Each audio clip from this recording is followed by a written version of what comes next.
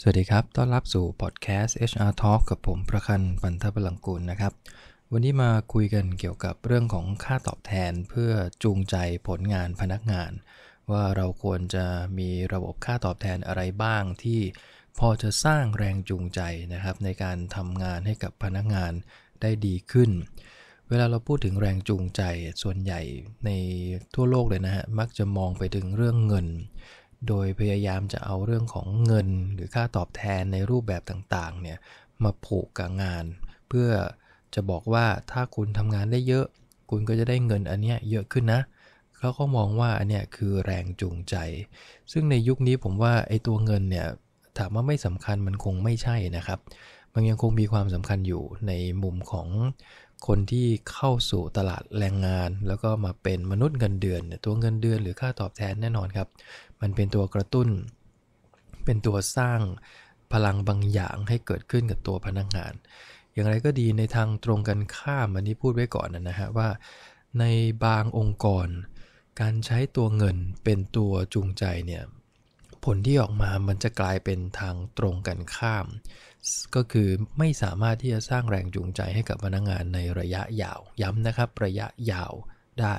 ก็คือเมื่อไหร่เราไปแตะไอ้เงินก้อนนั้นนะครับ ไม่ว่าจะเพิ่มจะลดส่วนใหญ่น่าจะเป็นการลดมากกว่า มันก็จะเกิดผลลัพธ์ที่เป็นตรงกันข้ามทันทีก็คือพนักงานจะไม่ทำงานนั้นอีกเลย มันมีตัวอย่างอยู่หลายครั้งทีเดียวนะครับ ที่เวลาไปออกแบบ ค่าตอบแทนจูงใจให้กับองค์กรต่างๆ เราต้องระมัดระวังค่อนข้างเยอะทีเดียวว่าเดิมทีเนี่ยองค์กรไม่ได้มีระบบค่าตอบแทนจูงใจตัวนั้นไว้เลยนะครับ พนักงานก็เต็มใจทำงานอันนั้นอย่างเต็มที่พยายามจะไปเยี่ยมเยียนลูกค้าพยายามที่จะขายพยายามที่จะสร้างแรงจูงใจในด้านอื่น ๆ แล้วก็ฝ่าฟันกันจนกระทั่งทีมงานทำงานได้ตามเป้าหมาย วันดีคืนดีนายใจดี บอกว่าเรากำลังจะทำระบบค่าตอบแทนเพื่อจูงใจผลงานนะ พนักงานก็แฮปปี้เพราะว่าเออมันก็เป็นสิ่งที่ดีถูกไหมฮะว่าทำงานเยอะเราก็ได้เยอะทำงานน้อยก็ได้น้อยตามเป้าหมายที่ว่ากันไป ก็เลยวางระบบนี้ขึ้นมา หลังจากวางระบบได้สักปี 2 ปีนะครับก็ถือว่าเป็นตัวหนึ่งที่กระตุ้นแล้วก็จูงใจผลงานพนักงานได้ดีทีเดียว ใครที่อยากจะได้ค่าตอบแทนจูงใจตัวนี้เยอะหน่อยก็ลงมือ ตั้งใจมุ่งมั่นทำงานจนกระทั่งได้ตามเป้าหมาย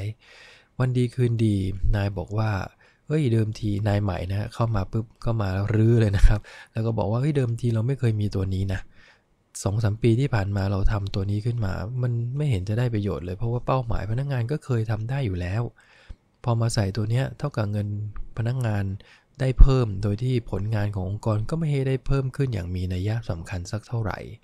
แกก็เลยตัดสินใจว่าจะยกเลิกเงินก้อนนี้ไป สุดท้ายไอการที่ยกเลิกอันนี้ หรือไปแตะให้มันน้อยลงบางส่วนเนี่ยเชื่อไหมฮะมันกลายเป็นว่ายอดเป้าหมายในปีถัดไปที่พนักงงานต้องทำคือเดิมก่อนที่จะได้ไอตัว incentive ตัวเนี้ยพนักงงานทำกันเต็มที่อยู่แล้ว แล้วเราก็เห็นเป้าหมายว่าได้ตามเป้าเกินเป้ามาตลอด เริ่มมี incentive พนักงานก็แฮปปี้นะก็ว่าโอเคทำงานได้เป้าก็ได้เงินนะครับแต่พอหลังจากนั้นเนี่ยเลิกนะครับหรือลด ผลออกมาก็คือพนักงานเลิกทำเลยนะครับ ทั้งๆทที่เป็นพนักงานชุดเดิมนะครับ คือเขามองว่าตัวเงินเขาควรจะได้รับไปละ แต่วันดีคืนดีนายบอกว่าไม่ควรจะได้ สุดท้ายก็คือเลิกเลย เนี่ยฮะนี่คือตัวผลลัพธ์ในเชิงลบของ incentive เวลาเราจะเลิกเลิกยากมาก แต่เวลาจะที่เราจะทำเนี่ยบางครั้งมันออกแบบได้ง่ายนะครับ สุดท้ายมันต้องยอมรับว่าเงิน เวลาจะจูงใจเนี่ยมันได้ผลในระยะสั้น แต่ถ้าอยากจะให้พนักงานมีพลังในการทำงานอย่างต่อเนื่องเนี่ย ตรงนี้ผมว่าคงต้องใช้เรื่องของ intangible reward ก็คือ เป็นแรงจูงใจที่เกี่ยวข้องกับตัวงาน การแข่งขันการเติบโตของเขามากกว่าที่จะเป็นตัวเงิน แต่อย่างไรก็ดีค่าตอบแทนที่เป็นตัวเงิน ที่เราสามารถออกแบบแล้วก็ใช้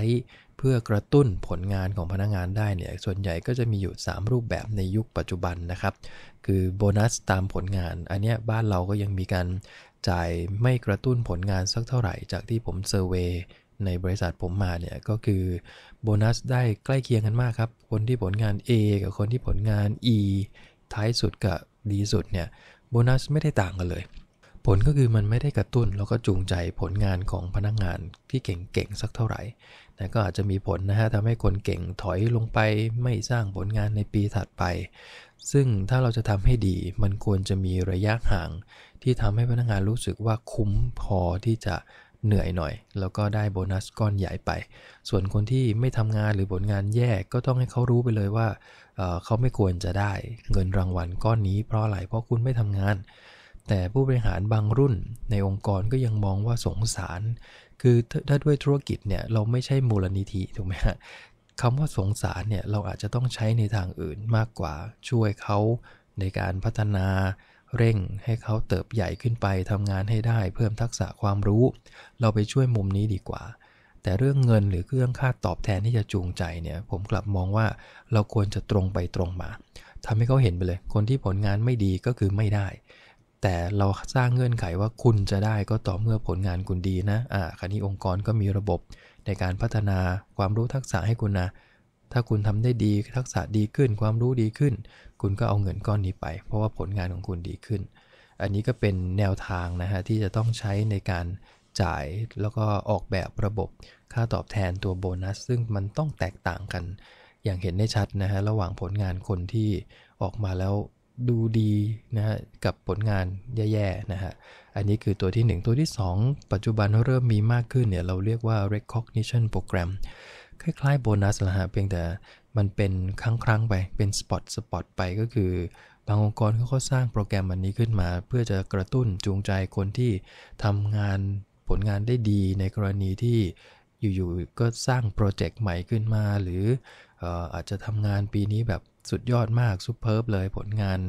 พุ่งกระฉูดนะฮะ เป็นเป็นอะไรที่เซอร์ไพรส์เนี่ย เราก็สร้าง spot bonus อันนี้ขึ้นมา เพื่อ recognize เขาว่า เฮ้ย ปีนี้คุณ เป็นพนักงานยอดเยี่ยมผลงานดีเด่นมากที่สุดในบริษัท ก็เป็นอีกตัวหนึ่งนะฮะที่เป็นโปรแกรมที่เริ่มมีความนิยมมากขึ้น โดยเฉพาะองค์กรที่ใช้การทำงานแบบเป็นโปรเจกต์เบสพนักงานคนไหนบริหารโครงการไหนได้ดีนะฮะสร้างผลตอบแทนในการบริหารจัดการให้กับองค์กรได้เยอะ เขาก็จะได้เงินก้อนนี้เพิ่มมากขึ้นก็คล้ายๆโบนัส พียงแต่เขาอาจจะได้ทั้ง 2 ก้อนนะครับ คือโบนัสภาพรวมที่มาจาก profit sharing กับตัว recognition program ที่มันเป็น spot bonus ก็ 2 2 เด้งไปเลยก็ได้ ตัวที่ 3 ที่เริ่มมีการออกแบบกันมากขึ้นก็คือ individual incentive ตัวนี้อาจจะต้องมีการขึงผลงานกับเงินอย่างตรงไปตรงมานะครับ ก็คือในมุมของการที่เราจะตอบแทนผลงานเนี่ยมันควรจะต้องวัดได้ คำว่า incentive ก็คือต้องวัดได้ เพราะฉะนั้นงานที่วัดไม่ค่อยได้ เรามักจะทำอินเซนティブลำบากหน่อย แต่ถามว่าทำไม่ได้เลยใช่ไหม อาจจะไม่ใช่นะครับ อาจจะต้องสร้างแง่มุมในการวัดขึ้นมา ส่วนใหญ่อินเซนティブก็จะแยกเป็น 2 มุม มุมแรกคือมุมที่เป็นหน้าบ้านของบริษัทก็คือหน่วยงานที่ตะลุย สร้างรายได้สร้างผลกำไร ค่อนข้างจะตรงไปตรงมานะฮะ เช่นขายผลิต การตลาด 3-4 หน่วยงานเนี่ย customer service จะเป็นผู้ที่สร้างรายได้เป็นหลัก ถูกไหมฮะกับอีกด้านหนึ่งก็คือด้านที่เป็น back office ทั้งหมด ดังนั้นในการดีไซน์ incentive เราควรจะดูให้ชัดเจนนะครับว่าถ้าเราอยากจะจูงใจผลงาน กระตุ้นให้เขาสร้างผลลัพธ์ที่ดี หน่วยงานพวกนี้หน้าบ้านหรือหลังบ้าน หน้าบ้านวัดกันที่อะไรหน้าบ้านส่วนใหญ่คือ profit share เลยถ้าเขาสามารถสร้าง profit สูงขึ้น โดยที่คีปต้นทุนในการหาลูกค้าได้ หรือสร้างในแง่ของเป็นสัดส่วนที่เพิ่มขึ้นได้ไงฮะส่วนต่างที่ได้มาเราก็แชร์ริงออกไปให้กับพนักงานกลุ่มนี้ได้ ส่วนทาง Back Office เราก็สามารถทำได้ แต่อาจจะทำได้ไม่เต็มที่นักนะครับ ก็คือเราเรียกมันว่า Gain Sharing Gain Sharing คือการที่เราตกลงกับทีม Back Office ว่าเราจะลดต้นทุน หรือคงต้นทุนเอาไว้นะหรืออาจจะเป็นลักษณะของการ ทำให้ส่วนต่างตรงนี้มันดีขึ้น อย่างเช่นที่เคยเห็นลูกค้าแล้วก็ตัวผมเองบริษัทเองเคยทำจริง ๆ ก็คืออหาวิธีการลดเรื่องของการใช้กระดาษลง วิธีการลดต้นทุนบางอย่างในออฟฟิศเช่นค่าหมึกพิมพ์ค่าอะไรต่างๆ คือ คือพยายามจะไม่ให้เขาพิมพ์แบบสุรุ่ยสุร่ายหรือว่าไม่ดูให้ดีก่อน แล้วก็พิมพ์ผิดมาเต็มไปหมดเลยตอนนั้น ก็คือพอเราทำได้ส่วนต่างนะจากเดิมเช่นปีที่แล้วเคยใช้ไป 5 ล้าน ปีถัดมาเขาเหลือแค่ 4 ล้าน แล้วก็ทุกอย่างปกติหมดนะฮะ ผลลัพธ์ที่สนับสนุนงานหลัก ก็ทำได้ตามปกติ แต่ต้นทุนที่ใช้กลับลดลง ไอ้ส่วนต่างที่มันเกณฑ์มา 1 ล้านเนี่ย เราก็จะแบ่งย้อนกลับไปให้กับตัวพนักงานได้รับเป็นคล้ายๆโบนัส ซึ่งเราก็เรียกว่าเกณฑ์แชร์ริงยุคนี้ก็จะมี 3 ตัวนี้แหละครับที่เรานิยมออกแบบกันนะครับ ก็คือ1โบนัสแต่ต้องเคลียร์ให้ชัดนะครับว่าโบนัสนี้เราจะให้ แตกต่างในด้านผลงานของพนักงานยังไงบ้าง อันที่ 2 ก็คือ recognition program ให้เป็นสปอตให้เป็นคนๆไป ให้ผลงานโดดเด่นเราก็ให้ไปนะครับ อันที่ 3 ก็คือ individual incentive เลย ว่าใครที่รับงานแบบไหน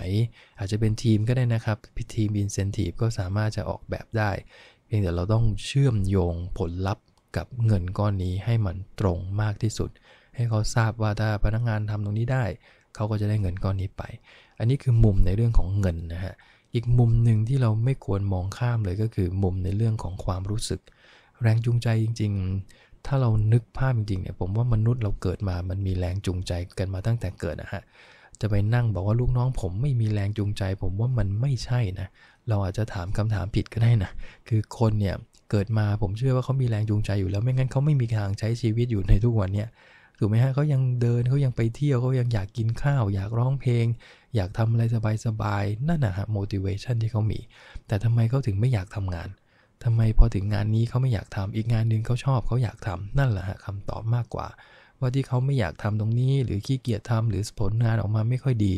มันอาจจะเป็นด้วยสภาพบางอย่างที่เกิดขึ้นแล้วทำให้เขาประเมินว่าไม่คุ้มกับการที่เขาจะลงทุนตรงนั้น แทนที่จะลงอันนั้นนั่งดูหนังดีกว่าไหมเนี่ยเขาเขาเปรียบเทียบตรงเนี้ยนั่นแสดงว่าเขามีนะฮะแรงจูงใจไม่ใช่ไม่มี แต่ด้วยบรรยากาศด้วยผลลัพธ์ บางอย่างด้วย safety บางอย่างที่ทำให้เขารู้สึกว่ามันไม่คุ้มที่จะทำดังนั้นในความรู้สึกพวกเนี้ย manager ของท่านจำเป็นอย่างยิ่งที่จะต้องสร้างบรรยากาศตรงนี้ในการทำงาน ให้ตอบโจทย์ความรู้สึกทั่ว ๆ ไปของคนทำงานให้ได้ว่า คุณมาทำงานที่นี่นะ มัน safe หนึ่งนะฮะสองมันมีความสบายใจเกิดขึ้น คุณจะพูดอะไรก็ได้ ในการประชุมครั้งนี้ ในการทำงานที่นี่จะพูดจะฟีดแบ็กใครแบบไหน เต็มที่มันปลอดภัยนะแล้วอันที่อันที่ 3 ก็คือเวลาทำงานได้ดีมันมี recognition ที่ไม่ใช่เงินนะเช่นการ CEO CEO ส่งจดหมาย ชื่นชมให้กับพนักงานทุกคนรับทราบว่าพนักงานคนนี้เก่ง หรือมีการจัดงานเลี้ยงต่างๆ เพื่อ recognize ในแง่ของ ความเป็นส่วนตัวนะฮะ เช่นวันเกิดการรับปริญญาต่างๆ เนี่ย หรือมีการพูดคุยกัน เวลาทำงานดีก็ชื่นชมกันในทีม ผมเห็นบางแห่งนี่ถ้าพนักงานบริการลูกค้าดีๆนะฮะ ได้ตั๋วมาได้คำชื่นชมมาเยอะๆ เนี่ยเขาจะมีสิทธิ์ไปนั่งในพัตคาร แล้วก็หัวหน้าตัวเองเนี่ยแหละฮะ เป็นคนบริการลูกน้องคนนี้เลยนะฮะ จะรับอะไรดีครับ จะเอาน้ำอะไรแบบไหนเฉพาะวันนั้นวันเดียวเขาก็จะได้สิทธิ์นั้น ผมว่ามันสนุกดี ซึ่งตรงนี้มันจะสร้างอีกมุมหนึ่งก็คือ มุมที่มันเป็น intangible reward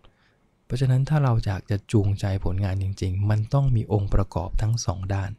ด้านเงินสร้างไม่ยาก ระบบพวกนี้มันผูกตรงไปตรงมาคล้ายๆ หลักคณิตศาสตร์ แต่ไอ้ด้านที่สร้างยากกว่าก็คือด้านที่มันเป็นความรู้สึก เพราะเราต้องอาศัย manager ทุกระดับในบริษัทในการสร้างสิ่งเหล่านี้ขึ้นมา นะอันนี้ก็เป็นประเด็นที่น่าสนใจมากนะครับ ถ้าองค์กรไหนพร้อมที่จะทำผมสนับสนุนทำเลยนะครับเพราะว่าจุดเนี้ยมันจะเป็นจุดที่สามารถจะทำให้เรามีแบรนด์ หรือว่า employer brand ในมุมของประชาชนทั่วไป หรือในมุมของพนักงงานมนุษย์เงินเดือนเนี่ยมองมาที่องค์กรของเราเนี่ยโอ้เป็นตัวแรงดึงดูดที่ดีเลยนะฮะที่จะให้เขาอยากมาทำงานกับเรานะฮะโอเค ก็ฝากประเด็นวันนี้ไว้ประมาณนี้นะครับพบกันใหม่ในครั้งหน้านะครับขอบคุณครับ สวัสดีครับ